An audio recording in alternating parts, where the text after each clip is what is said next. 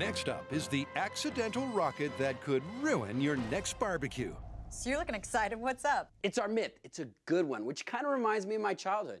Okay, hit me. All right, imagine a garage or a shed is on fire. Inside is a barbecue with a propane tank. It explodes and turns into a rocket, launching 150 feet into the air.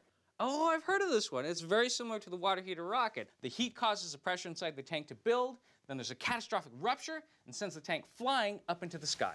Wait, wait, wait. This reminds you of your childhood? Yeah, I'd rather not talk about it. My parents are still a little upset. Like they said, this isn't the first time we've uh, adapted a pressure vessel. Or deliberately set one on fire. Or even tried to turn a gas tank into a missile. But if this myth is true, catastrophe could be brewing in your own backyard. The story goes that a propane tank once became a rocket. At its perfect trajectory, hit 150 feet. Look, I gotta say, I got my doubts about this. How so?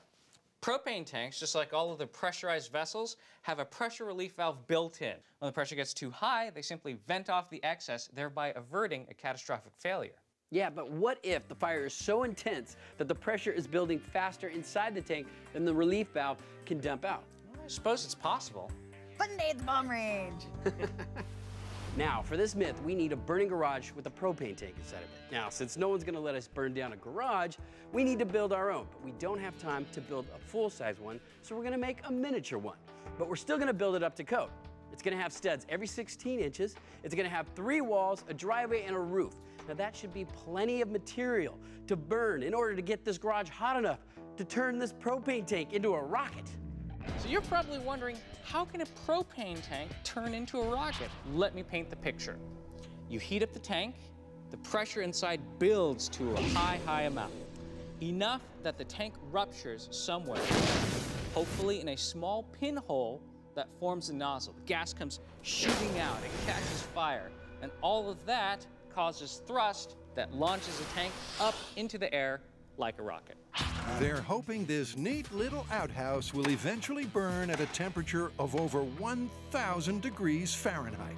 It's almost too pretty to put to the torch, but beauty fades fast around here. It's Tory's Playhouse! And a magic word for the day is explosions. Here on the show, we like to say that every day is a good day for an explosion, but some days are definitely better than others. I thought the dangerous part was gonna be the exploding propane tanks.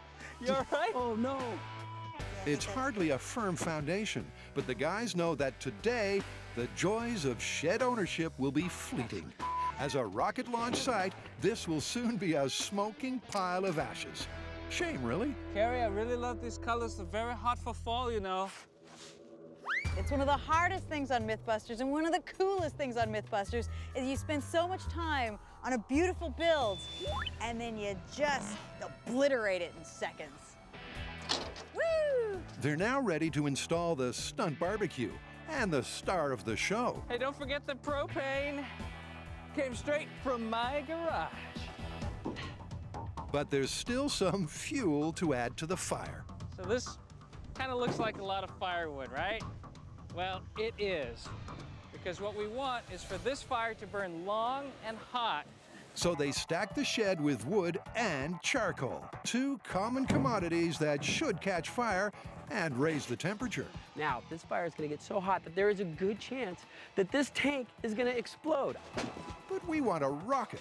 And if the relief valve does its job, this could turn out to be nothing more than a backyard bonfire. Then again, one of the great things about Mythbusters is that we're so often wrong. Now, all we have to do is set it on fire. Is this thing gonna burn? Oh, yeah, it is. Is it gonna explode? It might. Is it gonna turn into a rocket? I hope so. After a liberal splash of gasoline, That ought to do it. the team shows its flair for setting a fire. All right, you guys ready? Ready? Let's torch this thing in three, two, one.